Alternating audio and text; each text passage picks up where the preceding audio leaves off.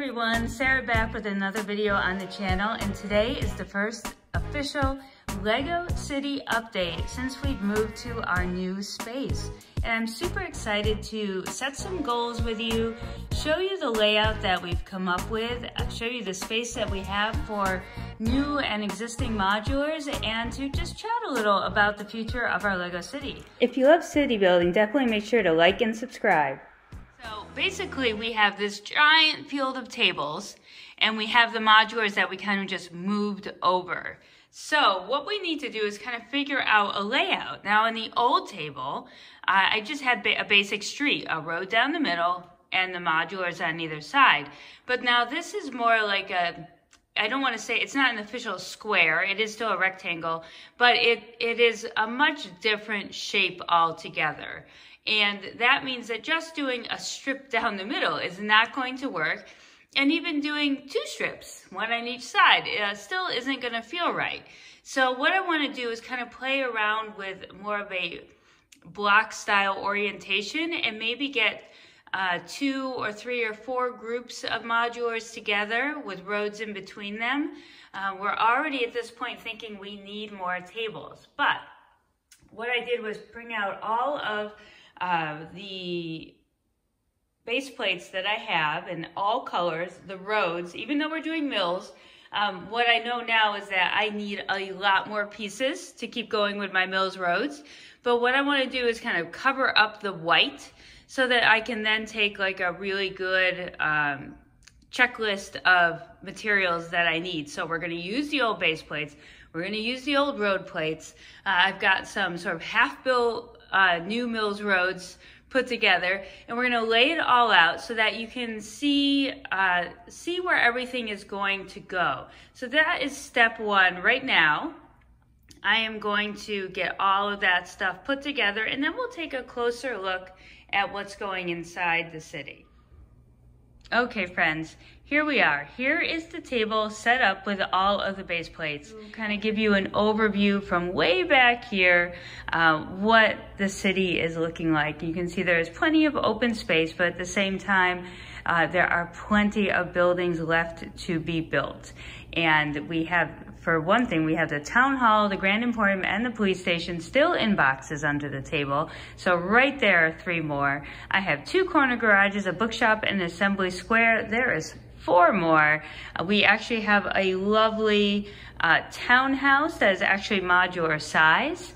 So there is an additional one. So already we have at least eight more buildings that we plan to add into this city. And that isn't even counting any, any new releases or anything coming up that we might want to add in. All right, so here we are. Uh, we're right in the front of the city. This, I guess, would be the very, the very front entrance of the city. As you can see, we've got the Disney Castle alt build and that is next to the diner and there is an open space next to the diner and then you can see the corner garage peeking out of that. If I go in for a top view, you can see that we do have some mill style road plates running down the middle. Uh, there's the skeleton of one that we were taking apart because we'll need to make a corner type road. And you can see here in the back that we have, uh, let's see, one, two, three open base plates and then, well, I guess four because of the one next to the diner. And then we have our, our Science Museum London Tower alt build over there on the other corner. So there's plenty of open base plates here. We clearly need another corner here next to the Disney MOC build of the castle. But then as we go over to this bank of modulars, we start off with the Palace Cinema. And I really did want to get that one across from the costume shop. I'm not sure why, I just felt like that was a, a really nice addition to that. And then we do have some of just the regular road plates out front to hold space. We have the bookshop here, which looks very nice. And here is another corner spot. Absolutely need those corners.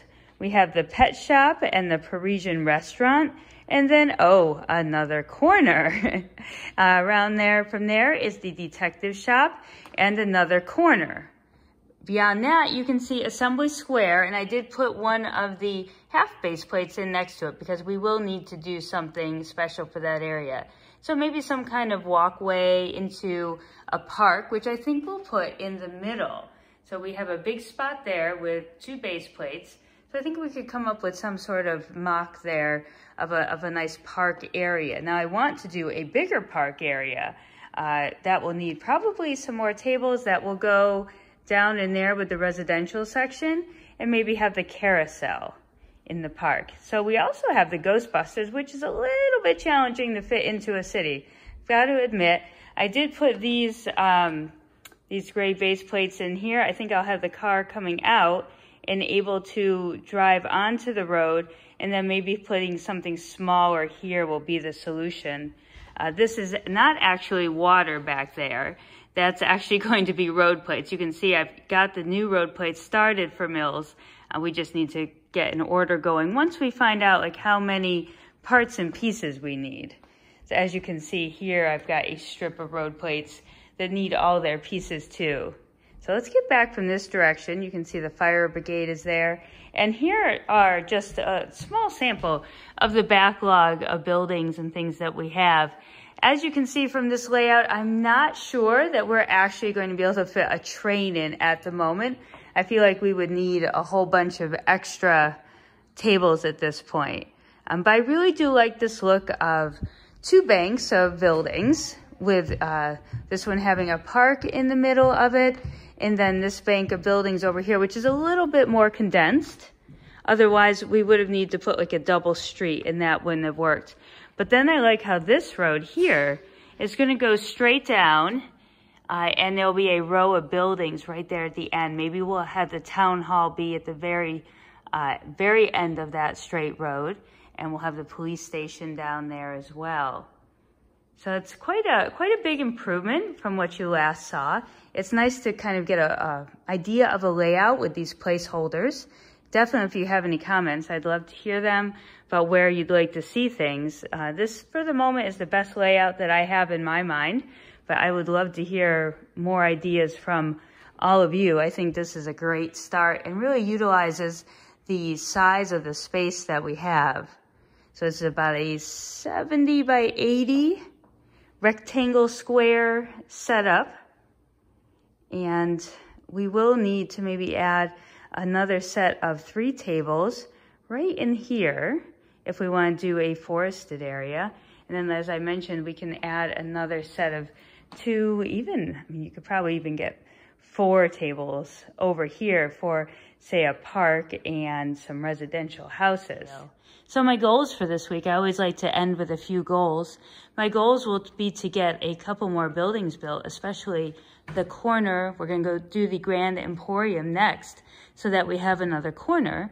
In my next video, I'll actually place the brick bank that we are working on. I think that will be an awesome addition to the city.